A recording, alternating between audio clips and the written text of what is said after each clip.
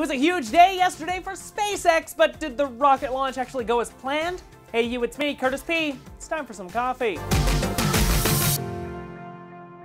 So yesterday was a huge day for SpaceX as they launched their Falcon Heavy from the Kennedy Space Center in Florida. Now Elon Musk even said going into this, there was a 50-50 chance the entire thing might or might not work. So it was a pretty interesting thing to watch because would it blow up, would it not blow up? Basically a flip of a coin at this point. But the rocket launch went off without a hitch here and it proceeded into the Earth's atmosphere. Now at the current time, this is the most powerful rocket in the entire world. It's capable of delivering about 64 tons into space all at once. Now, one thing Elon's been teasing for a while here was the fact that this rocket launch would be bringing his very own Tesla Roadster into space. And along with that, of course, the passenger here was a dummy wearing the SpaceX flight suit. Now, as the live stream proceeded here, we actually saw two of the rocket boosters land back on the ground in parallel, which is awesome. I can look at this footage all day. Looks amazing. Though some bad news here, the third rocket booster, which was expected to land back on the drone ship, it didn't really fare so well. According to SpaceX, it actually ran out of fuel as it was descending towards the drone ship,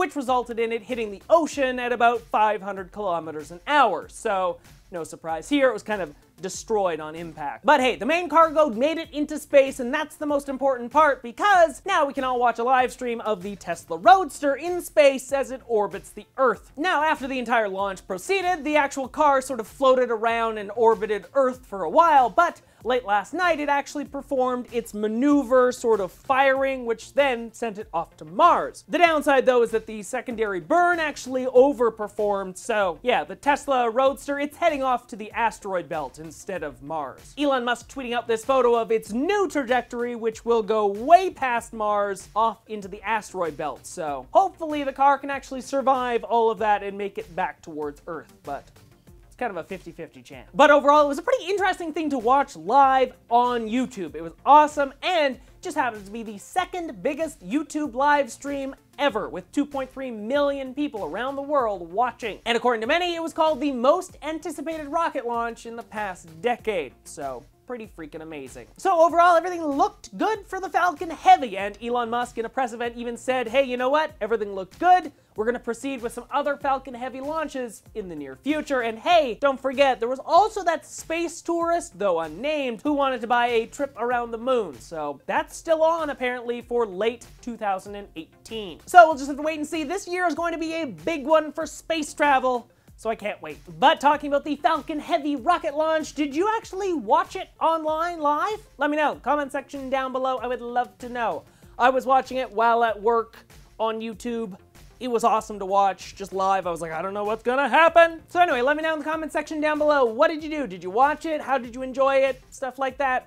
Yeah. But from that, let's jump into some quick news for the day. Yesterday was the big day of HomePod reviews, as many of the online publications released their reviews for the new Apple Home speaker. Overall, the reviews appear to be pretty positive, though Siri, of course, still appears to be a problem on the speaker, and some publications even got a behind-the-scenes look inside of Apple, showing off the locations where they actually tested out the sound for the HomePod. And some big changes may be coming for Google's material design in the near future, as new code discovered within Google's apps actually points to a brand new Material Design 2.0 coming in the near future. Material Design itself was debuted back in 2014, so it wasn't really that long ago, but the changes themselves won't be big. Currently, it just looks like Google will be refining some of the color palettes with some darker designs, but there are some interesting new touch interactions for future products, which could be interesting. But that's just a few quick news stories for the day. To learn more about any of those topics or anything I talk about in today's show, check out the links in the description down below. Next up, The Verge got a very interesting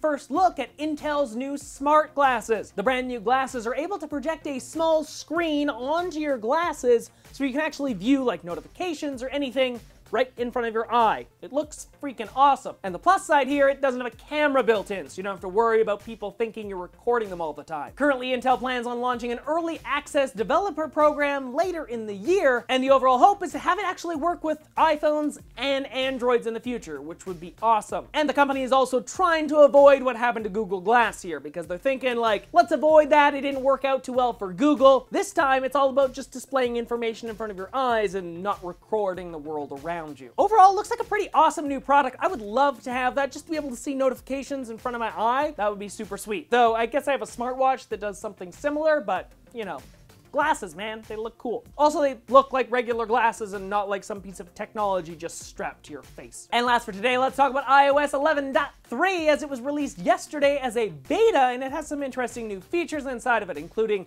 iMessages in the cloud. Of course, ARKit got a 1.5 update. It's got those four new emojis. But of course, the big thing everyone wants to talk about, it's that battery information that was finally included in the beta. So we finally get a first look at how the battery information will actually be displayed to users inside of settings. And of course, if your battery health isn't very good, you'll even be able to turn off the sort of processing limiting that's been happening with older iPhones. So it's a big step forward because a lot of users have been complaining for a while that, hey, Apple is throttling my older phone, and I want that to stop. So now you'll be able to do that. So it's pretty awesome, though a word of warning if you plan on installing the beta for yourself, certain things like Face ID don't appear to be working anymore, so it's something they're currently working on. Again, that's why it's called a beta. You know, avoid the beta if you want to use it on your regular phone. But hey, it's a good sign for the future because if you have an older phone, you think it's being throttled, this could hopefully help you out. But that's all I have for you today, so if you enjoyed today's show, make sure you hit that like button, and of course, if you're new to the channel, make sure you click on that subscribe button and join the notification squad so you can stay up to date on all of the latest videos I post throughout the week. Of course, if you missed the show on Monday, you can click or tap right over there to check it out. And until Friday, everybody, I'm Curtis Paradis. Have an amazing day.